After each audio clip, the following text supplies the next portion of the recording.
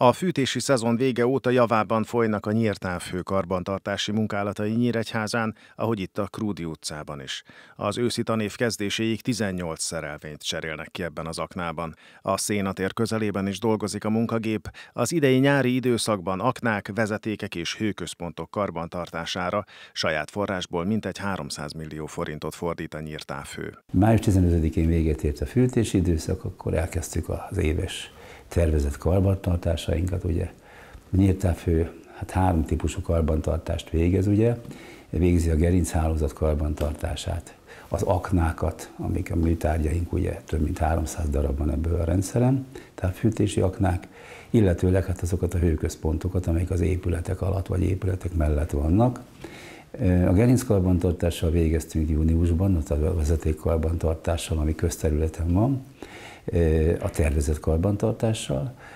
Most a hőközpontok karbantartása még folyik, szeptember 15-én van lehetőségünk, hiszen akkor indul újra a fűtési időszak, úgyhogy az is egy ütemterv szerint történik. Jó ütemben haladunk, nincs ami késleltes se, igazából az időjárás sem túl rossz. Az ügyvezető hozzátette, bár az utóbbi években melegebbek a telek a 10-20 évvel ezelőttiekhez képest, mégis tartósabb a hűvös időjárás, ami miatt a korábbi április 15-ről május 15-re tolódott ki a fűtési szezon. Ráadásul nem október, hanem szeptember 15-én indul. Az éves fűtési, valamint melegvíz elszámolás jelenleg is tart, és várhatóan sokan számíthatnak arra, hogy túlfizetés miatt hamarosan visszakapnak a befizetett pénzükből. Jelen pillanatban az a helyzet, amit már látunk, hogy a szaldó az a fogyasztóink számára kedvezőbb, tehát többet fizették be a fogyasztóink, mint amennyit igazából került mondjuk számukra. Ez azt jelenti, hogy a, száld, a szaldója körülbelül 90 millió forint, ez azt jelenti, hogy ennyit adunk vissza a fogyasztóknak szaldóban. Tehát ö, ö, ezek a fogyasztóink többet fizettek, és visszakapják ezeket. Ezekre a visszatérítésekre az elszámoló számlát követően nyilván kiutalásra is kerülnek 8 napon belül. Ez augusztusban megtörténnek ezek az elszámolások.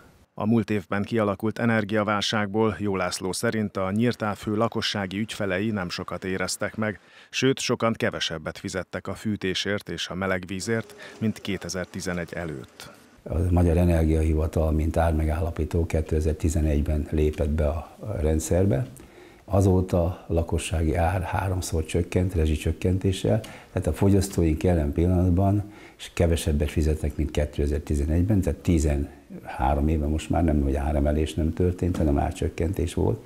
Tehát a fogyasztóink és a távfős fogyasztóknál ráadásul megmaradt ez a hatósági támogatott ár. Tehát a fogyasztóink, csak egy példát mondok, egy átlag lakás, egy 150 légköbméteres átlag lakás, a 110 ezer forintot fizet évente bruttóba a melegvizért és a fűtését egy egész évben.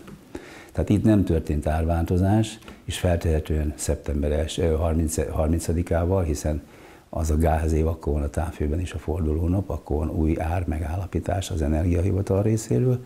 Nem történt tavaly, és reméljük, hogy az idén sem történik a lakossági árban áremelés. Hangsúlyozta, a közületek esetében tavaly augusztusban 1 megawattért még 330 eurót, ma közel 30 eurót kell fizetni, amelyből a szakember arra következtet, hogy a szeptember 30-án kiderülő új ármegállapításnál a tavainál jóval kedvezőbben alakulnak majd az energiaárak, így a közületek továbbra sem válnak ki a távhőszolgáltatásból.